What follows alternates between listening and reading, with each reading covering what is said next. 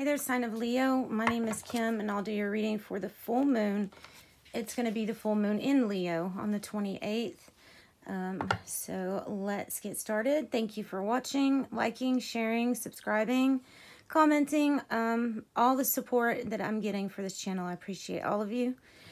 And we're going to start by calling in the divine white light to surround us as we do this reading and surround you as you watch the reading calling in our angels, spirit guides, higher self, higher power to give us messages for the highest good for the sign of Leo, please.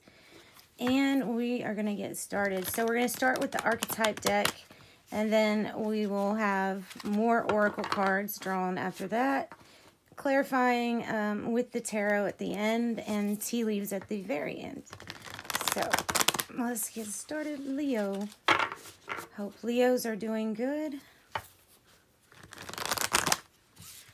All right, let's give it another shuffle. Almost so this is the archetype deck, if I didn't say that.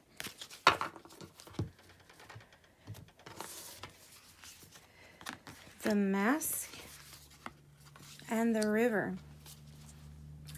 So, so the mask isn't quite what you would think. It's not um, about putting on a fake anything. It's actually about the the face that you're wanting um, the world and other people to see. Um, just making sure that your goals and your values still align up with the picture you're portraying to everybody else. Um, this card sometimes comes out when there's a little bit of theater um, in the mix, but mainly it is about um, choosing to change the mask and change it to what actually suits you now. And it talks about how we wear different masks throughout our life, different periods of our life. Then the river is a really good card. The river is, um, not like that's not a good card, but the river is about um, being in flow so, you know, um, that Abraham Hicks will talk about the law of attraction and the importance to be in flow. That's when you're gaining momentum, when you're in flow and things start manifesting for you. So I see the horse on the card and I'm figuring it will take some work to be in flow, but this card may, may be indicating that that's already where you are. And it also is kind of referencing the ego dissolving into the bigger you um, as the river runs to the sea. All right, so let's move on. Let's continue and we'll get some more oracle cards. For Leo, please. For Leo. Full moon in Leo. For Leo. Hmm, something needs mending. Something needs mending. When that card comes out, it just means that something needs to be um, set right. So a relationship, something like that, something needs to be set right. People, some people aren't getting along. It doesn't necessarily have to be a very big conflict, but whatever it is, it's kind of indicating that this period right now will be focused on mending or um, tying up loose ends with other relationships in your life. Then we have chop wood, and there's an expression that says chop wood, carry water. And it's about keeping yourself kind of distracted from those um, lower vibration emotions by not thinking of them. So we keep our frequency or our vibration high when we're doing things that we might even consider mundane, but they're to help us get through without thinking or obsessing over negative things. So in return, it keeps our vibration high, which keeps us being in flow with what you actually desire instead of thinking of something you're not, which actually this uh, full moon in Leo does have something to do with that it's a time where we're going to think of all the things and reminisce on stuff that we've done good. Kind of like building our ego up almost um, with this moon. but it also has a tendency if you feel like for some reason that you haven't had goals accomplished or things in your life, you can get focused on thinking about scarcity with this full moon. So just be careful and make sure your thoughts are positive and that you're thinking of things that really only lift you up. All right, now we will get some cards from the spellcasting deck for our Leos for the full moon in Leo. Spell casting. So we have mending, being in flow by chopping wood, staying busy, and a need to revamp what the world sees on the outside for you, Leo. All right, some spell casting cards, please, for Leo. All right, we've got a few cards that came out, so we'll take them all and we'll stop with these oracles. So we have fertility. Could mean something on the lines of what you're building is going to be successful, like whatever venture you're on, as it, it seems to represent the Empress card or the Empress power for me. Of course, it can always be uh, real fertility coming in your life, like tangible, I want to have a child fertility. Could be that. Then we have life purpose, as above, so below, with your life purpose card. So there may be something that comes about during this time that's pointing you to your life purpose, to whatever it is that you're supposed to be doing, to enrich your life, to keep you in flow, by the way, and empowerment. So maybe something about your life purpose is going to empower you in some way in your life, get you going forward, help you propelling forward, being in the flow. And then we have freedom.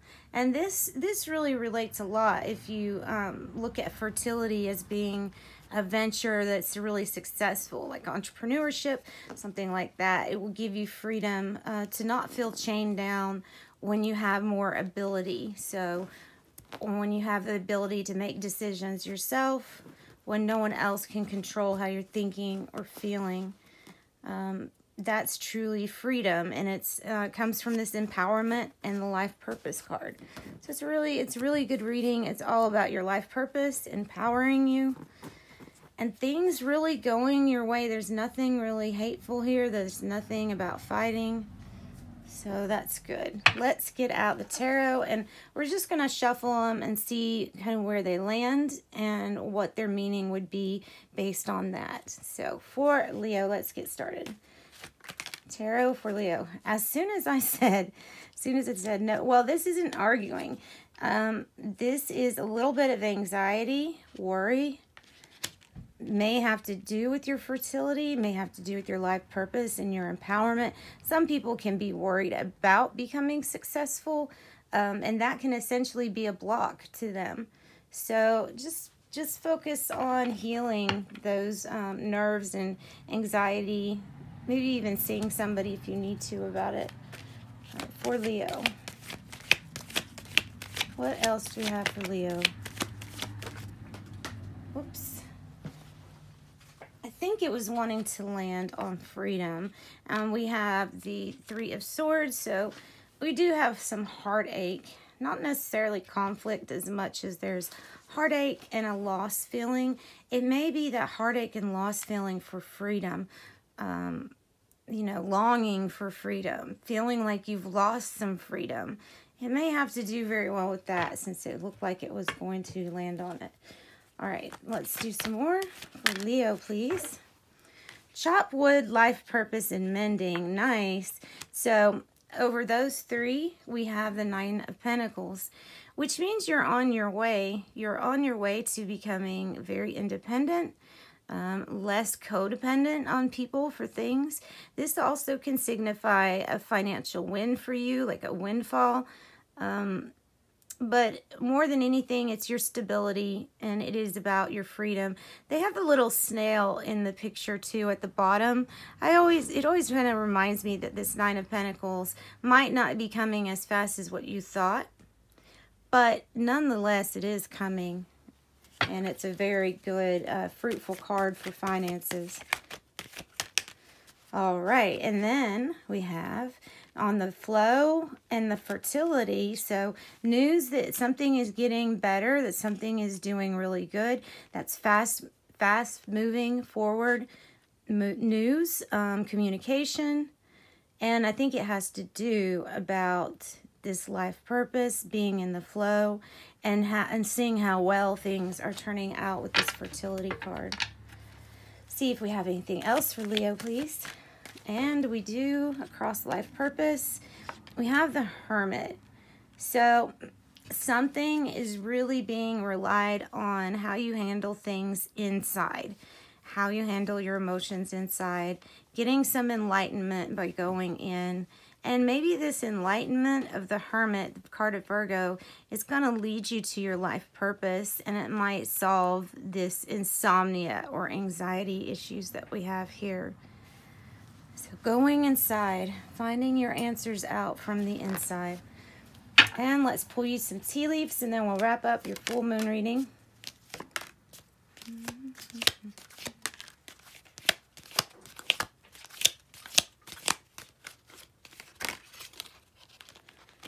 Okay, boot. Increase your efforts if you want to achieve your goals. Increase your efforts if you want to achieve your goals. Frying pan, troubles or accusations. Troubles or accusations. Basket, recognition, reward for merit. Barrel, you feel like something is lacking in your life. Perhaps love, money, or goals. It looks like money here with this issue. Uh, February, somebody needs a month, February. And then we have bear. Danger, especially in money matters. So be careful with your money. It looks like here we are mending your money issues. So just be careful um, when it comes to your money. All right, Leo, good advice all the time anyway. So sending love and light your way. Thanks for joining me, guys. Looks positive. We'll keep going positive. Join me for your next reading. Bye.